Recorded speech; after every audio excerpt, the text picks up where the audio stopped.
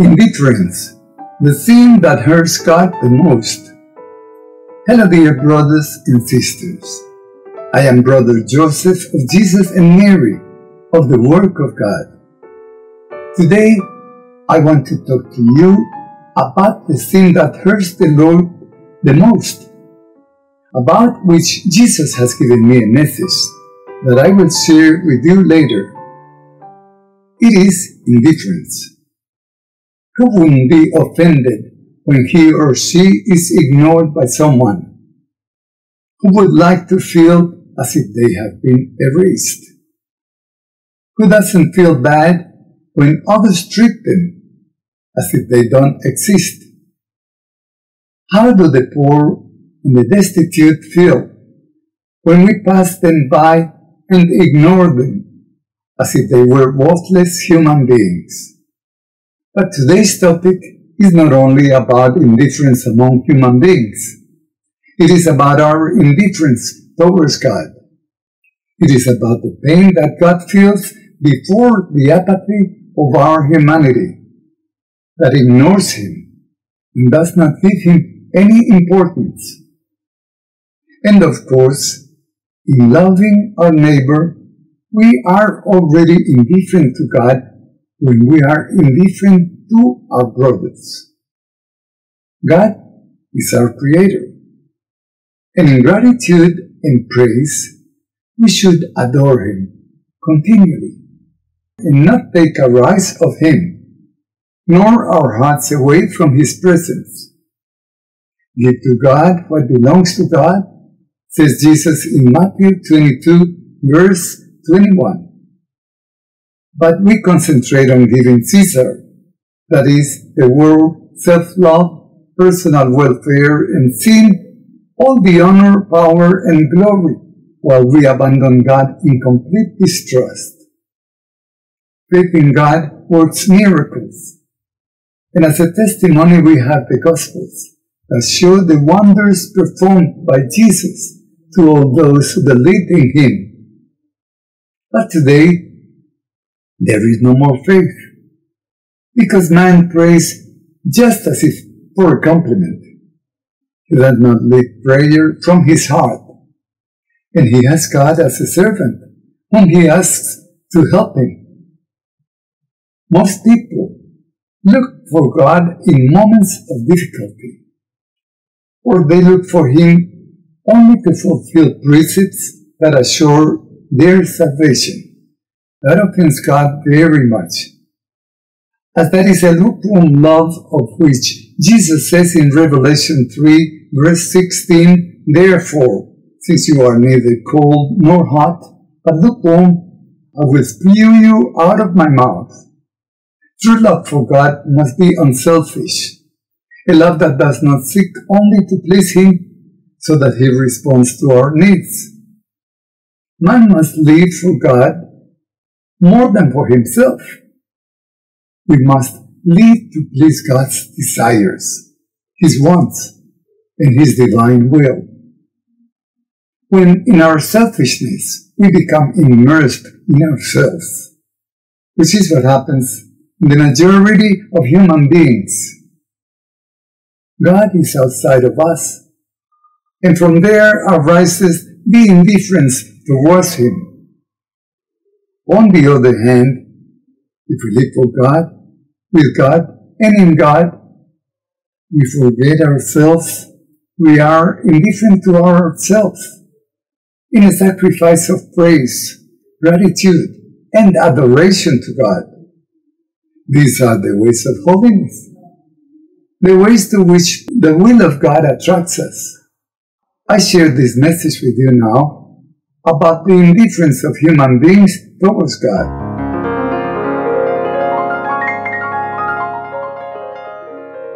Indifference, 29th of December 2018.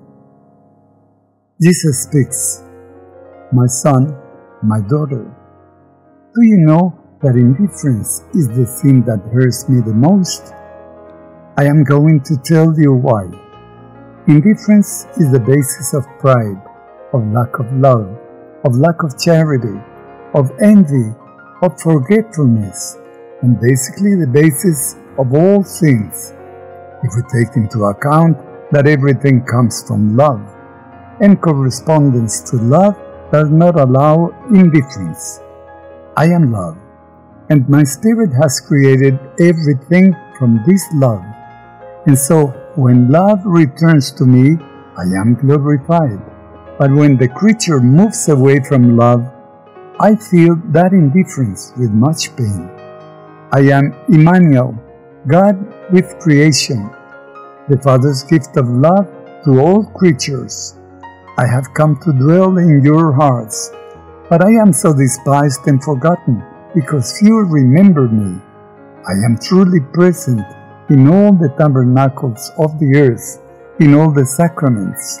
My omnipresence fills the earth and is the life of souls. But those who still have me as that distant being or as that Savior who died for the salvation of men more than 2,000 years ago, and it seems to them that I am a distant God, they forget that I am with you. I am alive because I am life. I am everywhere because I am the Spirit who created all that exists. I live through my creatures, and I want to feel the gratitude I deserve for being the Creator. I want to be present and included in all lives because that is my place. I have come to reign, and souls are my throne. But how disillusioned I am. Human beings, with their indifference, begin by ignoring the great love of their own parents, who as my image have brought them to life. That indifference turns into rebellion against parents, against teachers, against authorities, against the teachings of the church, and against me. Pride leads them to offend their parents, their brothers and sisters, and to offend the God who created them with so much love. This is why the first commandment tells them, You shall love the Lord your God with all your heart, with all your mind, with all your soul, and with all your being, and your neighbor as yourself. But these ungrateful, indifferent ones do not love me, for in their hearts they have enthroned all the loves of the world, and have me as the most despicable being in the bottom of the closet of their hearts. Instead of loving me with all their minds, their thoughts are filled with the things of the world, and they lack the space to embrace more. They do not remember me. They have forgotten me completely. They have placed their whole soul, which is my throne, in the things of the earth. Thus the soul has become the property of the devil, who reigns in it with material things with passions, vices, lack of charity, attachment to what is earthly, and especially that terrible indifference they feel for me. The being that I have given them is their own life, which belongs to me because I have created it for my purpose. But now with self-love and indifference, they are denying me what is mine. Do you realize how indifference leads to that life away from my light, in which only the darkness of sin and the short path to perdition are found? The world is barely sustained by the love and adoration of the few souls who feel much love for me. When you remember me, when you are in prayer, and when you make adoration either in your heart or before the Blessed Sacrament of the altar, you are with me, and in that way you are mitigating the sorrow I feel for the indifference of those who do not love me. When you make efforts to keep yourself in my presence, you are making reparation for many souls who only strive to satisfy their self-love. Cheer up, my son, my daughter. Love your brother very much because by loving Him, you love me. We make many acts of love, of adoration, and in this way make reparation for the spiritual coldness of the majority of human beings. I am always with you. Do not hurt me with indifference. If you like this video, please give us a like, subscribe to our channel, The Work of God, share on social networks, and do not forget to leave your valuable comments.